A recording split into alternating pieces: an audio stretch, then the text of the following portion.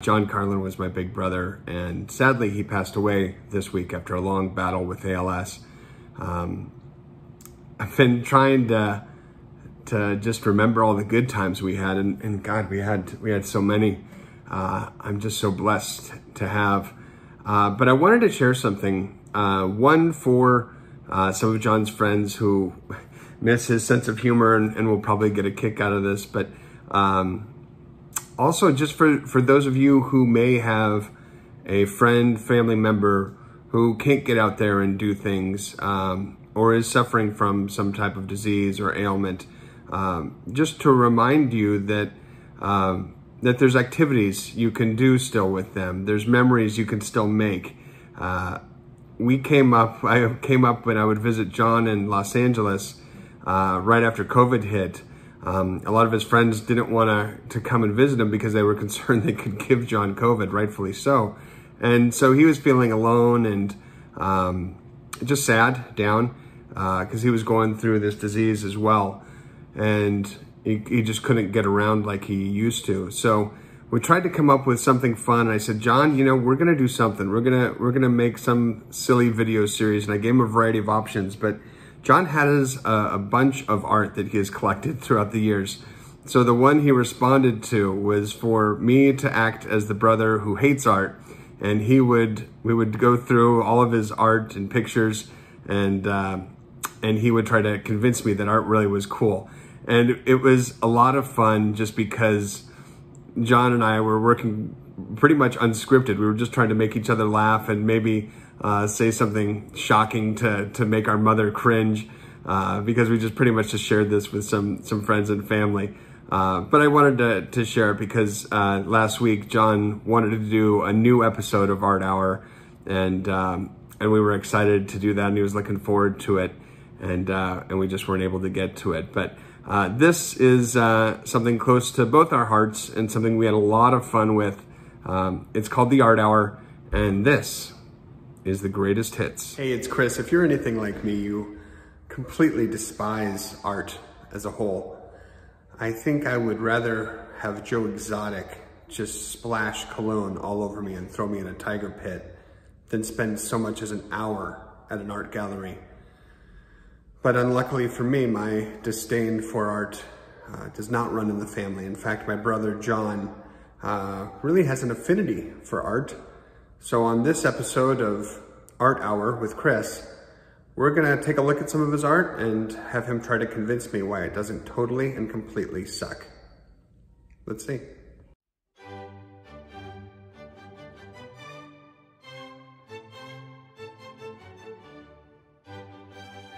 What creepy garage sale did you find this at? Actually, it was a thrift store, but huh. uh, thanks for the compliment. You're welcome. Um, it's very realistic, and I, I, found it. Even the woods like uh, predates the picture. Obviously. Um, yeah, and if you look at the wave, you can see the uh, light coming through the wave, and it's a very spiritualistic setting. I don't know what ocean we're at, but I'm assuming it's the Pacific. And I even got the autograph of the artist, who's very famous and lives in Sonoma. I doubt it. Who wants to go sailing? Not me. Well, this is a nice picture up in uh, the Washington area. There's a lot of islands up there, and this is actually the backyard of a house. Does that guy have the COVID? He uh, could have the COVID, and he's just kind of like sitting out there looking at his boat, kind of wondering if he should go in or not. Kind of like me in this video. Ouch. The Simpsons. You do that nicely, Chris. Thanks. Anyway, this is a family portrait of The Simpsons done by the creator Matt Groening. I think that it really um, just kind of uh, just ties in everything all together. Maggie doesn't even look at the camera just like a real kid. Yeah, and she also has a red pacifier that ties it nicely with the frame. Ay caramba. Now I have to be totally honest with you, John. I hate this piece.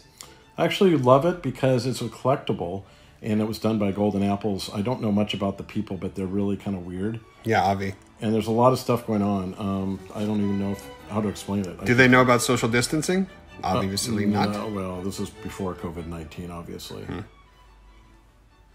And uh, if you just notice that there's a lot of people that are all over the street, and um, they're just weird. There's a, very zany kind of I don't even know how to describe it. Looks like a bad bunch of bad Funkos. That's a great call, Chris. I bet you're totally right, and that's really where Funkos got their origin, probably. Take me out to the ball game. This is a legendary picture from way back, probably around 1956, when Bill Veeck, the legendary owner of the Cleveland Browns. It was actually a baseball team back then. Sent and uh, left. Where's the dog pound? Uh, yeah, I, I, think they're behind the gates. Oh. Who let the dogs out? Anyway, um, it's a really that's the actual picture, and so you can see there's um, the three foot six um, Eddie Gaedel who went up to the plate as a uh, kind of a promotional. He has kind of like a stance like Joe DiMaggio. Well, he looks like he's 88 years old. Yeah, he's older, but he's uh, kind of scrappy. Scrappy. Yeah, that's a good way to describe him.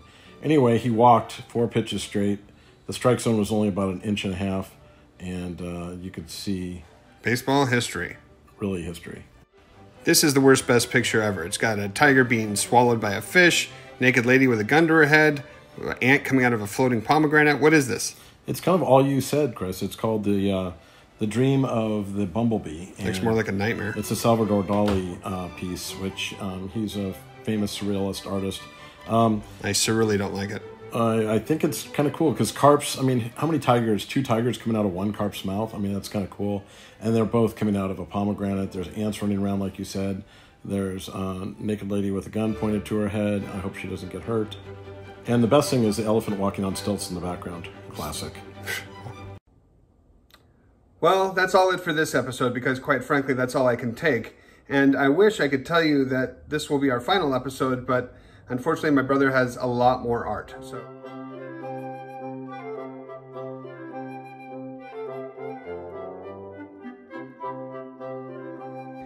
All right, John, here we go again. What am I looking at? This is a Salvador Dali piece um, titled Alice in Wonderland.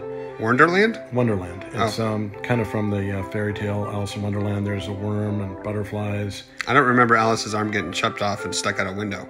Yeah, it's probably from the house that she climbed into. Anyway, the stairway hmm. up there, butterflies. And there you see at the very bottom um, the signature of the great Salvador Dali. What in the actual hell? Again, Salvador Dali, he continues to impress and he brings it.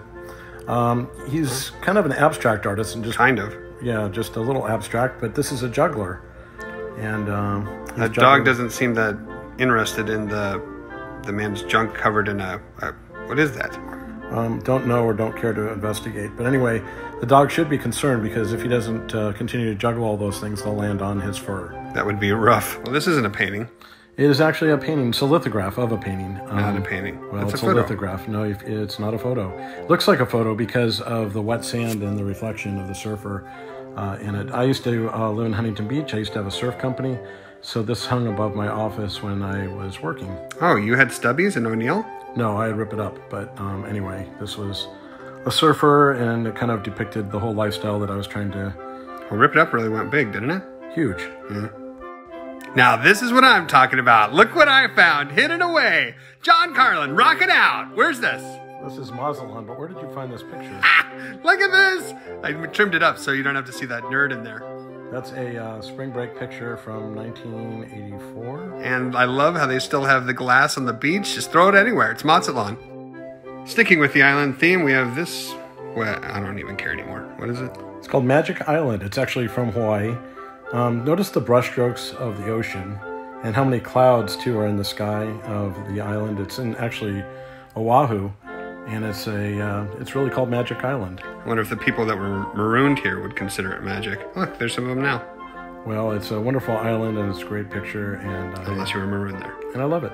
The last piece, yay! Uh, this is a reproduction of a Chagall. Uh, Chagall was Marc Chagall was a very famous Russian Jewish painter, and living in Los Angeles and having many Jewish friends, I thought it would be nice since art is cultural to have a Jewish artist and a very famous one at that, a Chagall hanging in my uh, bedroom. Reminds me of a book I just read, My Kids, Where the Wild Things Are, except with lesbians. Well, that'll do it for another boring edition of Art Hour with Chris. Uh, I've taken the liberty, however, to uh, get all of John's artwork that was featured in this show ready to ship. Uh, you can bid at the eBay link right here. Uh, please bid fast uh, because I'm not sure how long it's going to take before he realizes that I'm doing this. Chris, what are you doing? Get the heck John, nothing, nothing to see. When do you go back to San Diego? Go, get out of here, now. The art, it's like a painting bomb blew up in here. And I mean, who puts 10 pictures on one freaking wall? I do. It's my beach wall. Well, son of a beach, we've got art hour number three coming up right now. I'm his brother. I hate art, but I love this guy. Should be fun. And I love art and hate my brother. Hmm. Let's get going.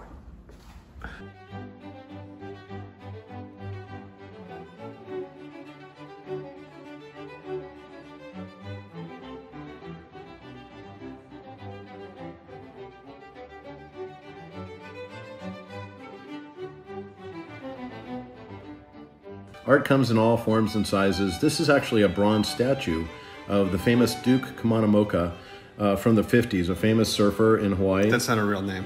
yeah, it's a real name. It actually has three middle names that I don't feel like pronouncing right now. Bet the middle names have a crap ton of vowels in them. Don't be such a Hallie. And oh wait, this I is had him surfing for you a little bit. What do you think about this? well, that's hilarious from Surf Magic? Island, a previous uh, picture that I had.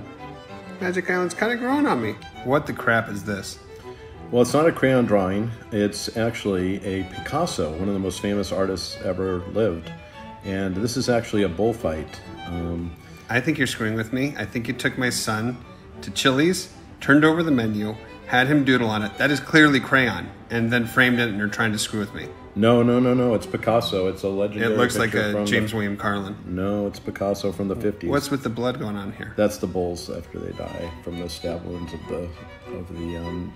Big You know, that guy could have been a matador. Maybe the bo- they both took each other out. Tragedy. Very tragic. Tragedy in all art forms. Well, this artwork is definitely a tragedy. I'm not sure all this constitutes as art. It is. It's a picture actually of Kermit the Frog who autographed it to me with his little paws. I don't know how he gets his little hands around a pen. Well, he does a pretty good job, and he's just an entertainment master. Not a bad autograph. Yeah, I just had it authenticated by Upper Deck, so it's authentic. Liar!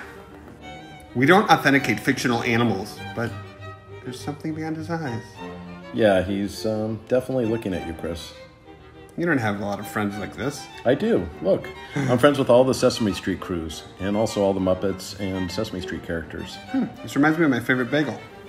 Sesame. Hey, I remember this one. This was hanging at Grandma's house when we uh, used to go pee. Yeah, I stole it from her. Uh, you did not steal it from yeah, my I grandma. I took it.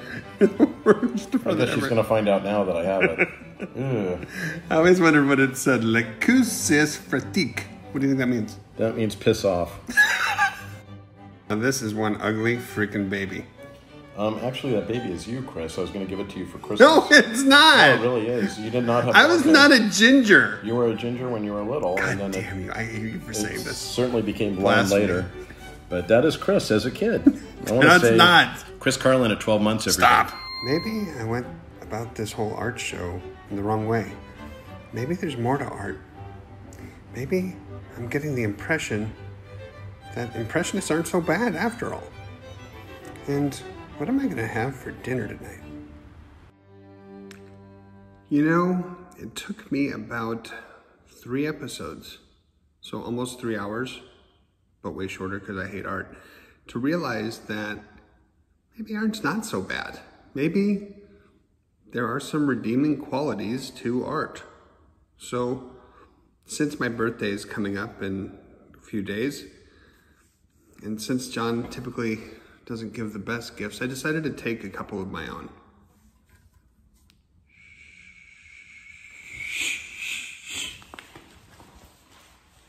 Oh, and I'm taking Magic Island too.